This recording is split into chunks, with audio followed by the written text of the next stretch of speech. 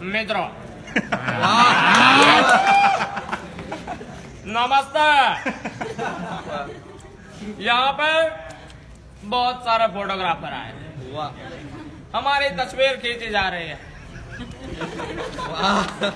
ये भाई साहब हमारा तस्वीर खींच हमें अच्छा लग रहा है। कल रात साढ़े आठ बजे से अरे घबराइए नहीं कुछ बंद नहीं हो रहा। मैं पबजी खेल रहा था। पबजी वाला है क्या? पबजी वाला है क्या मैंने देखा कि कोचिंग की में कोई बंदे ही नहीं आते। मैं आपसे पूछना चाहता मैं बंदों से पूछना चाहता था और मैंने पूछा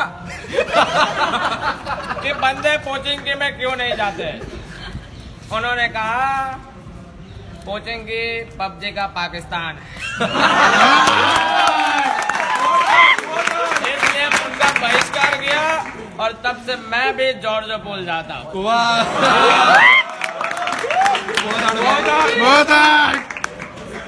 मैं गोलगप्पे खाने गया। मैंने कहा, गोलगप्पे वाले भाई साहब, दस रुपए के गोलगप्पे खिला। उसने कहा मोदी जी पाँच आएँगे। मैं आपसे पूछना चाहता हूँ। मैंने विचार किया। मैंने तीन दिन कैलकुलेशन किया। फिर मुझे पता पड़ा एक गोलगप्पा दो रुपए का। ये तो बहुत ही महँगा है।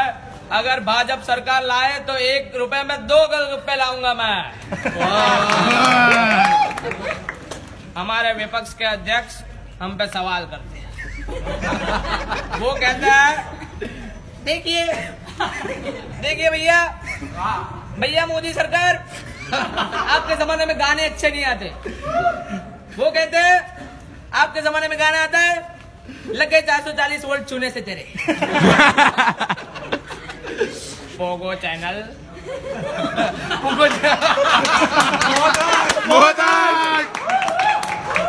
लग गए 440 वोल्ट छूने से तेरे।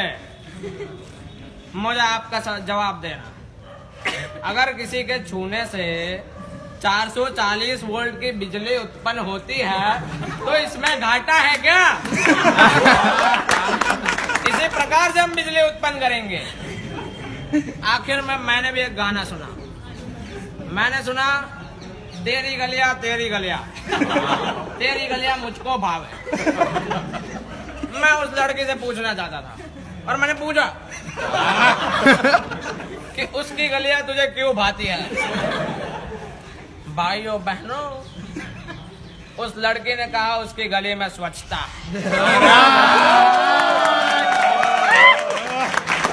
आखिर में मैं पाकिस्तान को एक संदेश देना चाहता हूँ।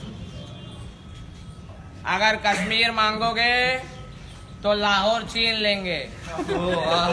अगर कश्मीर मांगोगे तो लाहौर छीन लेंगे। अगर राहुल गांधी मांगोगे तो केजरीवाल फ्री देंगे।